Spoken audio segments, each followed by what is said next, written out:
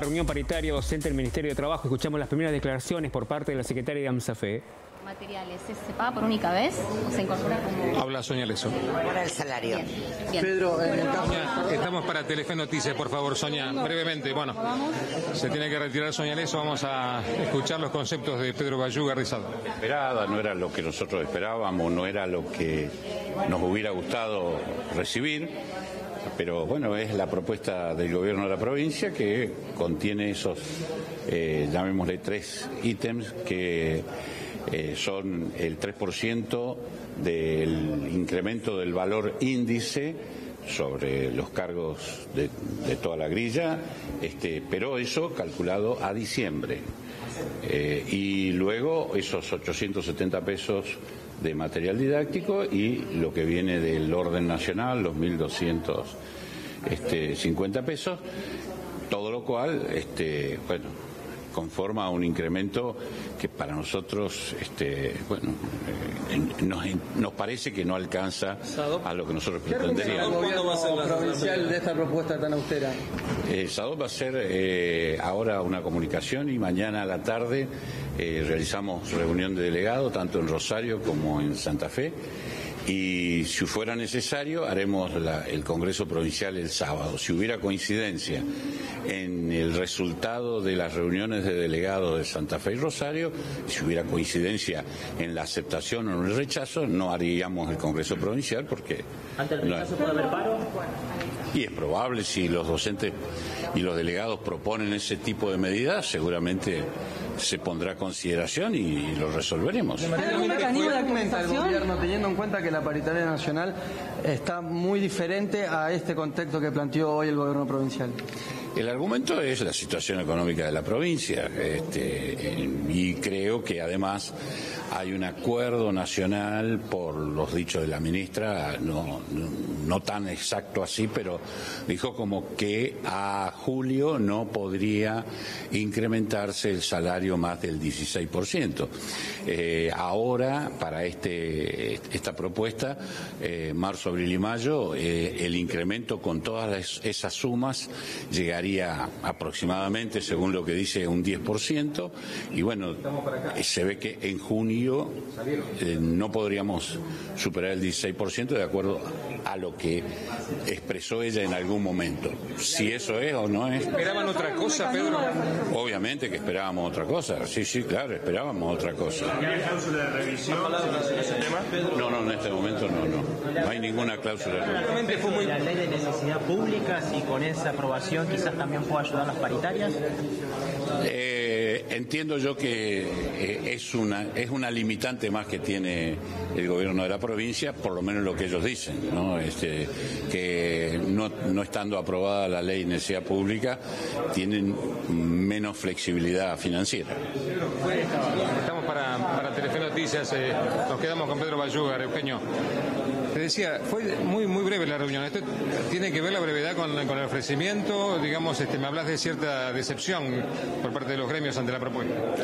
Bueno, en realidad eh, no hubo nada más que charlar que la propuesta y la propuesta la expresó la ministra en no menos de cinco minutos, diez minutos. Todos los demás fueron discusión de detalles que rápidamente sabemos de lo que estamos hablando, todos, la ministra sabe muy bien, nosotros también.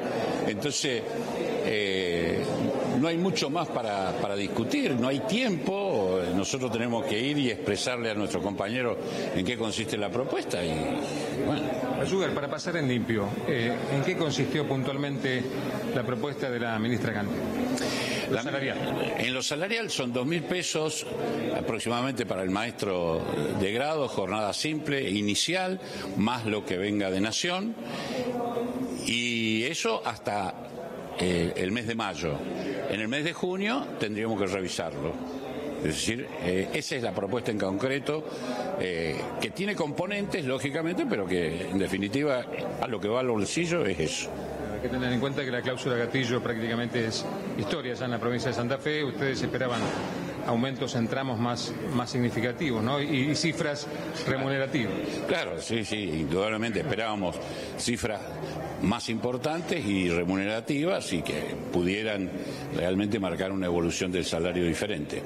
no se puede o no, no, no ha dispuesto así el gobierno de la provincia. Eh, esto es lo que vamos a considerar eh, si, es suficiente o no y, y en función de eso la actitud del gremio o de los gremios en general. Bueno, eh, esto se pone entonces a consideración de la docencia privada cuándo?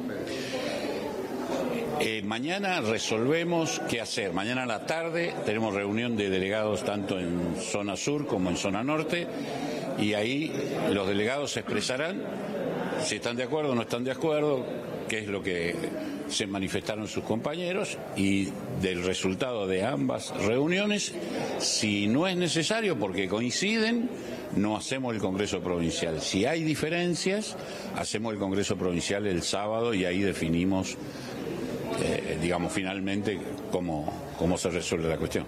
que los, que los santafesinos estén atentos, que no sería nada raro que las clases no comiencen el lunes, teniendo en cuenta esto que estás comentando, al igual que lo que ha manifestado Sonia Leso, de cierta decepción en, lo que ha sido el ofrecimiento. Sí, no, yo no, no, esperaba este ofrecimiento, me parece que no, no, no es lo, lo que nos hubiera gustado. Y bueno, podemos tener toda la comprensión del mundo, pero la realidad es una y este salario no alcanza para lo que hoy un docente necesita. De ahí en más, los docentes resolverán qué hacer. Si trabajar a pesar de que el salario no alcanza, si realizar alguna medida o prever alguna medida de fuerza más adelante, en fin, no sé. ¿Las mociones de paro cuándo se irían confeccionando? ¿Si ¿Sería paro por 24, por 48 horas? Eso en la medida que lo, van haciendo los, los delegados y, y, se vota. Es decir, no hay no, no, hay ninguna progresión en cuanto a que las mociones se hacen en el momento y en el momento se votan.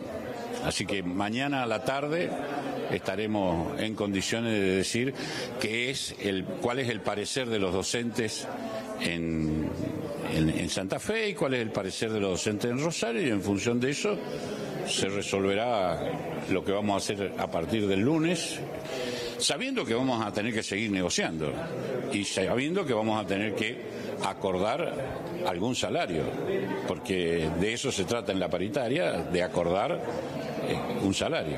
más allá de, otras cuestiones que también son importantes, ¿no? como la, carrera docente, las condiciones laborales. Bueno, hoy era una reunión para, para escuchar números, porcentajes y, bueno, para llevarles a los docentes a las asambleas. Así es. Hoy era una reunión específica sobre el tema salario. Las otras cuestiones de las condiciones de trabajo, carrera docente, son tema de todo el año en la paritaria. Bueno, muchas gracias Pedro no, Bayugar. Eh, en minutos eh, la ministra de Educación, Adriana Cantero, seguramente va a dialogar con nosotros. Quizás también el ministro de Trabajo. estamos este, aquí esperando que salgan los funcionarios de la provincia. Eugenio. Bueno, Marcelo, te dejamos trabajar en el lugar entonces para ver si logramos entonces las palabras de la ministra de Educación y después preguntarte un poco con qué ánimo salió también ANSAFE. ¿eh? Así que en cualquier momento volvemos a tener un contacto contigo. Gracias. Hasta luego. Bueno, tendremos que esperar entonces después conocer un poco la postura de AMSAFE para saber cuáles serán las mociones que saldrán en las asambleas para que después en el día de mañana los docentes públicos de toda la provincia puedan votar.